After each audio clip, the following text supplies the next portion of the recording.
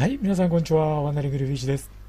えー、では今回はですね、えー、低読の決断法続きをプレイしていきたいと思います。えー、前回ですね、まあ、ハワイに対して第1弾攻撃ということで潜水艦隊を派遣したんですが、まあ、ある意味想定通りではあったものの潜水艦隊が壊滅するという状況が発生してですね、え計画の見直しをしていこうと思っています。で、どう見直していくかなんですけども、まあ、具体的にはですね、え潜水艦をもうちょっと増やしていこうというふうに思っています。あとですね、トラック沖に、えー、アメリカの艦隊が迫っているという状況がありますので、トラック沖に関してはですね、航空機の増強を行っておきましょう。で、えっと、おそらく一番最初に敵にさらされるのがこの第一飛行場になるので、この第一飛行場に対してはですね、えっと、特に、そうだな水星97式の飛空艇、どうしようかな。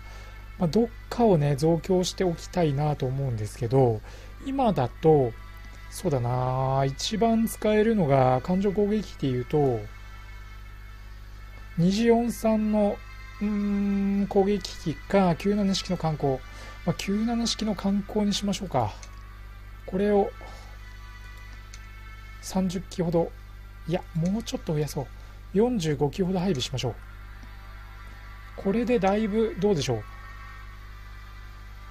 能力的には上がったんじゃないかな。攻撃能力がね。で、その後第3飛行場に対しては、えっと、どうしようかな。97式の艦爆とかも予備がちょっとしかないんですけど、一式の立候はどうなってる？一式の立候に関してはもうゼロですね。そうすると99式の艦爆を、まあ、ちょっとね、旧式にはなりますが、これをマックスまで配備しちゃいましょう。まあ、こんなところですかね。まあ、ここはね、どうしても守りきりたい場所にはなるので、えー、ここには、惜しみなく配備していきましょうか。で、残った、えっ、ー、と、97式の飛空艇ですね。これは前期配備しちゃいましょう。まあ、このトラック沖で敵の空母艦隊がもしね入ってくるようなことがあればこれも合わせて撃滅対象にしちゃいましょう。で今オーストラリアに停泊中の主力空母艦隊第3艦隊に関してはマーシャル沖の奪還に向かいましょう。マーシャル沖奪われてますからね。で、えー、戦艦部隊もマーシャル沖へ。で第10艦隊ですね。駆逐艦隊は、まあ、潜水艦が出てくる可能性もあるんでマーシャル沖に派遣しましょう。で、こっからちょっとね、ポイントになってくる、えー、艦載機の乗せ替えを行っていこうと思うんですけど、えっと、まず第2艦隊、これ戦艦部隊なので全く問題ない、ま、全く問題ないというか、まあ、このままにしましょうというところで、えっと、まずはですね、この日本近海にいる第6艦隊かな？今どこまで来てる？第1艦隊じゃないね。第6艦隊ですね。この第6艦隊をミッドウェイまで派遣しちゃいましょう、急いでね。で、合わせてなんですが、第1艦隊の航空戦隊をですね、少し変えていきます。艦載機の編成ですね。えー、特に、来撃機のところを243の艦砲に全部乗せ替えましょう。航続距離が650で少し長めになってますんで、これを乗せていきますと。で、偵察機に関してはですね、えっと、もう予備が全くないという状況になってますんで、えっと、球団式の観光をね、ちょっと当てていこうかなと思います。これ、あの1021キロ航続距離あるんで、まあ、かなり長めにはなってるんですよね。水星とか1500あるんですけども、水星に関して言うと、ほとんど予備機がないという状況になってますんで、まあ、この辺りをね、うまくカバーするために、偵察機何か使っていきましょうというところで言うと243の爆撃機なんですよねこれがね結構余ってるんでこれをね、えー、っと、まあ、薄くにはなるんですが、当てていきましょう。で、二次43の観光ですね。これは、マックス配備。まあ、すぐ先生に復帰してもらいたいですからね。で、源流に関しても、だいぶすり減ってるんで、関西機がね。えー、っと、特に97式の観光をマックスまで補充しちゃいましょう。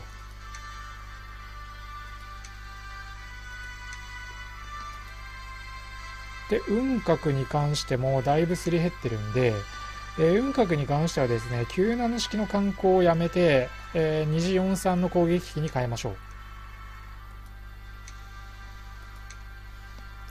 で、99式の艦爆、これが0になってるんで、これを、えーと、2次43の爆撃に変えます。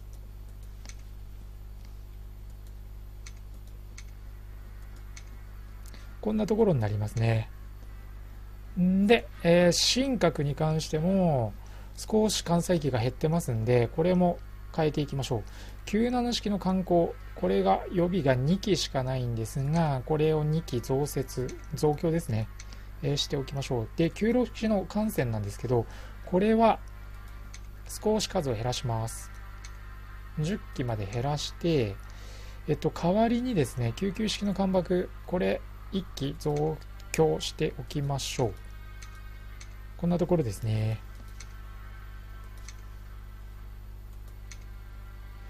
で、今、ここにある総流なんですけど、この後ですね、えっと、シナノ、正規空母シナノが入ってきますんで、正規空母シナノが入ってきたら、その段階でですね、また関西機乗せ替えをしていきたいなというふうに思います。とりあえず、今入っているこちらの関西機はそのまま残しておきましょ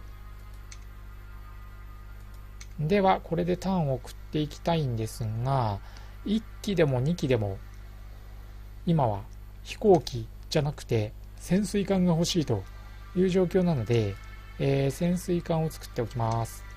で、まあ、潜水艦はね、いつも作っている19ノット出る。まあ、割と潜水艦の中では高速の部類に入る潜水艦を作っておきます。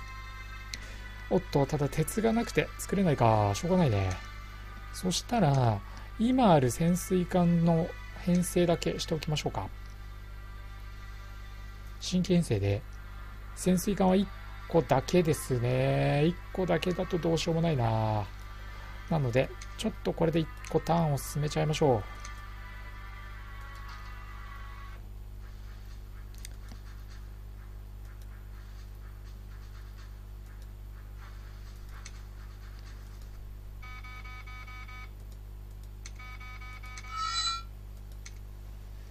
よし、これで潜水艦が1234、5、6、6隻潜水艦が増強されましたね。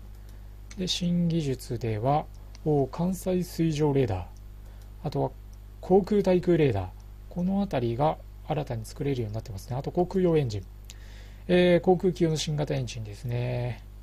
運動性能が高まりますよということになってます。で、航空対空レーダーに関しては早期警戒用航空兵器。うん。で、えー、関西水上レーダーは夜間戦闘でも昼間同様の索敵範囲を維持可能と。結構美味しいですね、どれも。ただ、お金がないな、お金がね。えっ、と、どうしようかな。そしたらですね、まずは、ちょっと今回のターンは技術開発するのは難しいので、技術開発はやめて、兵器開発だけにしましょう。で、一番今欲しいのは何かっていうと、えっと、航空対空レーダーか関、関西水上レーダーかな？2000。ちょっとね、お金かかりますけど、これを5週間後に使用できることを信じて発注しましょう。で、えっと、その後なんですが、何をするかというと、もう本当に退屈させてしまいますけども、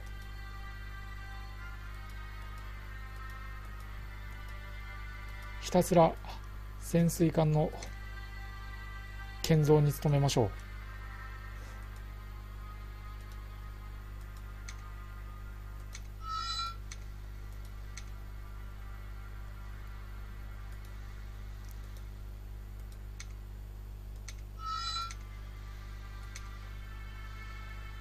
できれば潜水艦はですね60体制にしたいんですよね。60隻体制。これでも完全にハワイ近辺の敵、主力戦艦、主力空母を沈め切ってからですね、えー、満を持して、こちらも主力艦を投入したいというところがあるので、もうひたすらにね、作っていきましょう。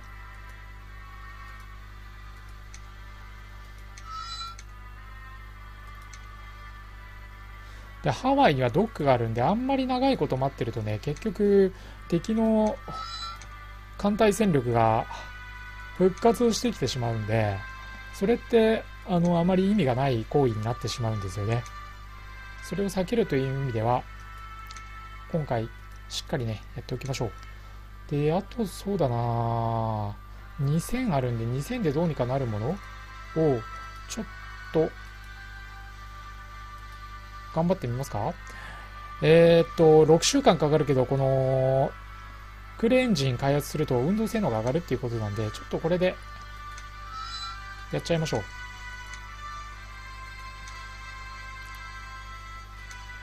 で、日本近海からですね、えっと、艦隊を1個作って、潜水艦隊です。潜水艦隊を作って、これを早速ハワイへ派遣しましょう。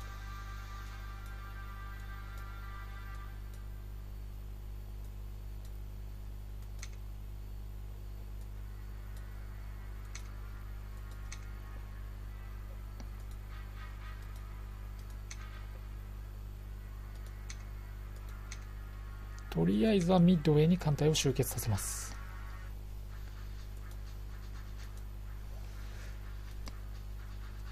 まあ、ドイツも結構無茶するね。こうやって見るとドーバー海峡を取りたいんでしょうね。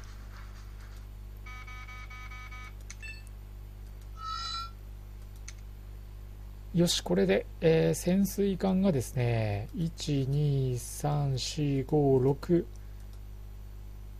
7隻。えー、さらに揚陸艦も完成してますね。そしたら、また艦隊を作っていきましょう。で技術開発は、えー、とここ前回ね、ちょっと1個も入れられなかったんで、今回薄く入れておきます。で、兵器開発はどうしようかな。今回兵器開発しちゃうともう全くお金がなくなっちゃうけど、まあ1000なんでね、この航空対空レーダーを作っちゃいましょう。で、この後なんですが、もうね、バカみたいに、さらに潜水艦を作っていきます。まあ、潜水艦で戦っていくと潜水艦の消耗がかなり激しいので、まあ、潜水艦をできるだけ多く作っておきたいなというところなんですよね。で、揚陸艦もね、ちょっとこの後さらに2隻増設、増強してですね、え揚陸艦4機、4隻体制にしたいと思います。というのもですね、まあ、ハワイの攻略が無事になった後、ハワイの航空基地を壊滅させてしまっている状態だと、おそらくですね、アメリカ軍がすぐに反転攻撃を仕掛けてくると思うんですけど、その反転攻撃をしのげないかなというふうに思ってます。なので、航空基地、最低でも1個はですね、残したい。残さなきゃいけない。というところで、えっと、揚陸艦で敵の基地を占領するっていうね、えパターンをちょっと演出したいなと思ってます。そのために揚陸艦も4隻体制に変えます。では、早速ですね、えっ、と、艦隊を編成していきましょう。今回編成する艦隊は、えー、第、そうだな、新規編成しなきゃいけないね、まずは。新規編成第12艦隊として、潜水艦ですね。これをひたすら、ミッドウェイに集結させましょう。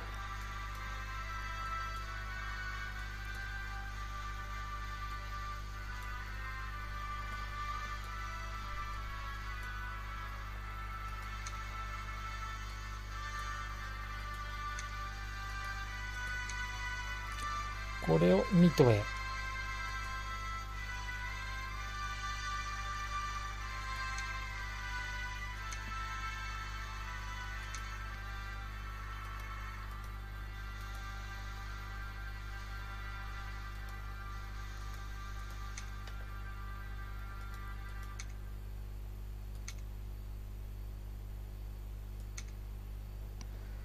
で、えっ、ー、と、第一艦隊に関してはですね、失った戦力を増強するという意味で、慶順、さらに駆逐艦2隻を増強して、いきましょう。これで、第一艦隊も戦線復帰ですね。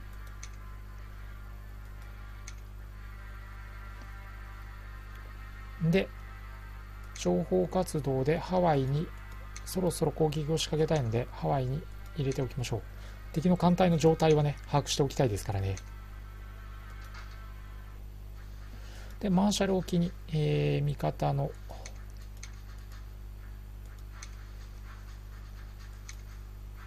艦隊が突入していきますというところになります。でマーシャル沖はね、えっと、画面中央にある塔に塔以外には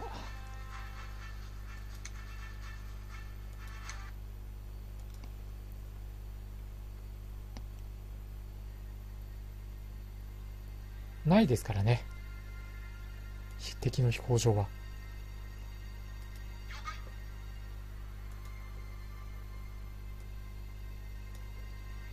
まあ、ここはね、できるだけ、味方の航空戦力を失わずに戦いたいなというところなんで、当然主力空母は無傷。これがもうね、大前提にはなります。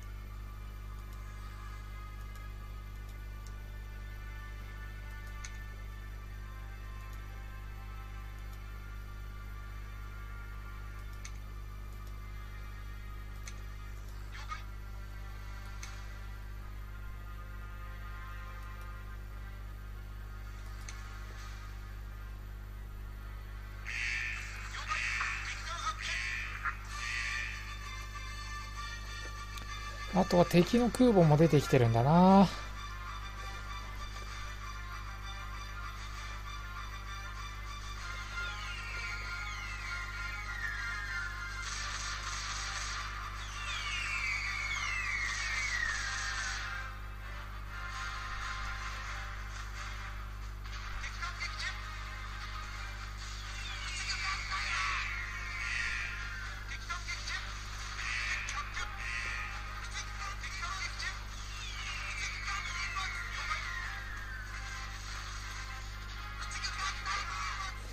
さあ、駆逐艦がだいぶやられてるけど、まあ、ここは耐えるしかないな。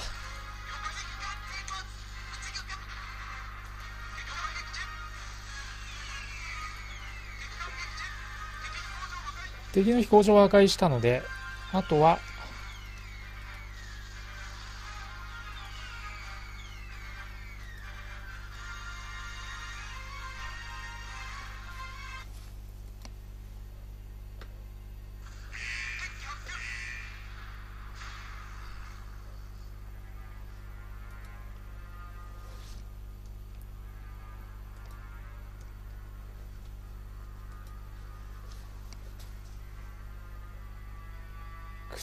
艦はだいぶ損傷してますけどね。ここは敵の空母を仕留めにかかりましょ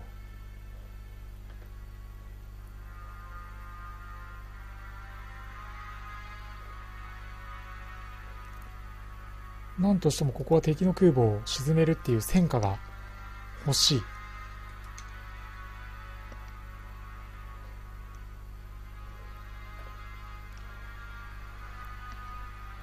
おそらくね、そんなに大規模な艦隊戦力を持ってきてはいないんじゃないかなとは思うんですよね、このマーシャル沖に関して言うと。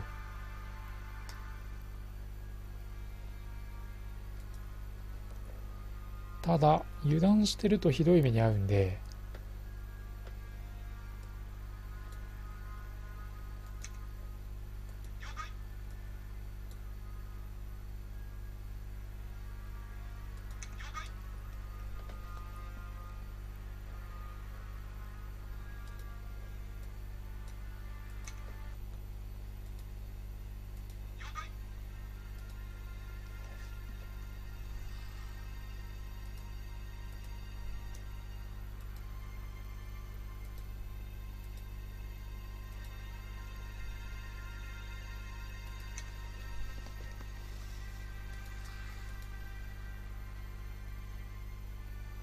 お互いに索敵をし合っているっていう状態ですね。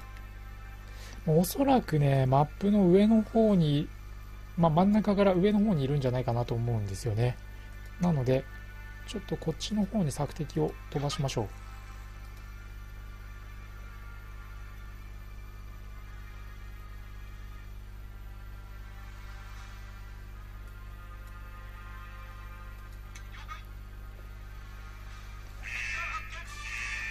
まあそうなるよね。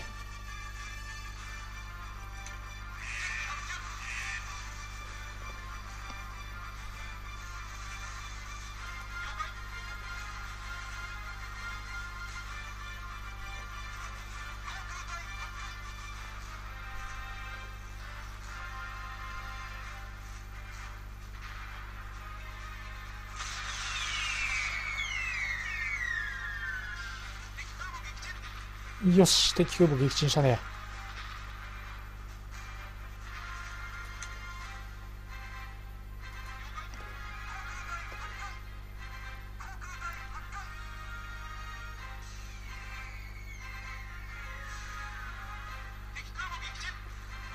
よし。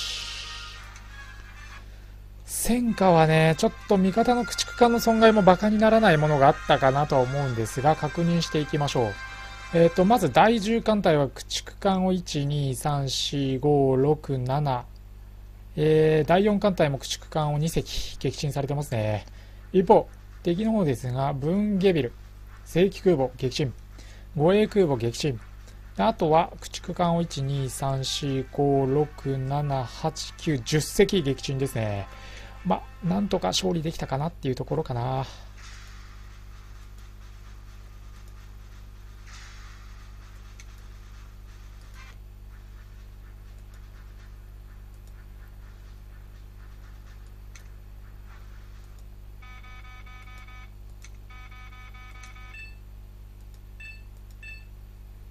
よし、ドイツが金を5000援助してくれたのは大きいね。で、さらに潜水艦が6隻。よし、いよいよ反転攻勢ができるな。そしたらまずマーシャル沖にいる艦隊ですが傷ついてますんで、えっ、ー、とマーシャル沖からトラック沖に一度退避させましょう。で、第4艦隊も第10艦隊と一度併合しちゃいましょうね。もう第4艦隊単体で、えー、どうこうできる、うん、違う、第10艦隊単体でどうこうできるっていう状況ではなくなってますからね。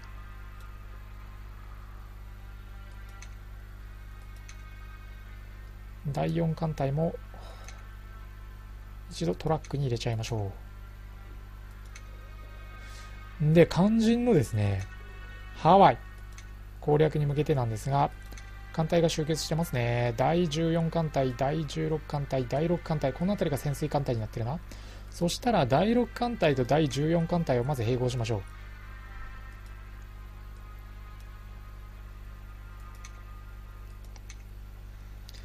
う。で、えっ、と、実際にはですね、作戦行動を始める前に、いつもの技術開発、まあ、おまじないのように入れておきましょうね。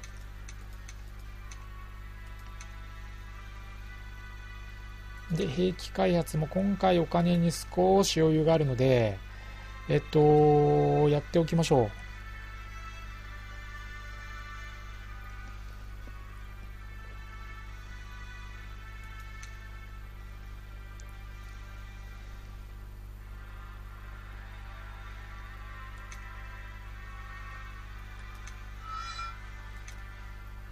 さあ、これでお金をだいぶ使ったので、あとは、本当はね、飛行機を生産したいんですけど、飛行機はその場ですぐ生産ができるものなので、ここは今回はだいぶ失って、手薄になっている駆逐艦ですね。もう安い駆逐艦でいいんで、えっ、ー、と、必要資金ができれば、そうですね、500以下の駆逐艦を、うーん、そうですね、何隻ぐらいかな6隻ぐらい作っておきますか？失った数を補充できるぐらいは駆逐艦をちょっと作っておきましょう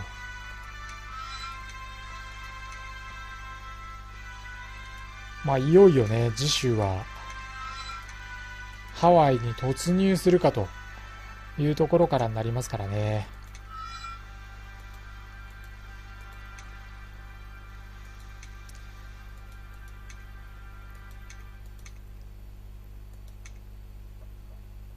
で、ジャワで確か沈められたという情報が入っていたはずなので、ジャワに1隻しか輸送船配備できませんが、えー、やっておきましょう。で、次週はというとですね、何をするかというと、まずは第2艦隊。これをハワイ沖へ。まあ、今回の作戦はですね、えー、前回と同じくハワイ沖に停泊している敵艦隊、これを撃滅するというのが一番の目標になります。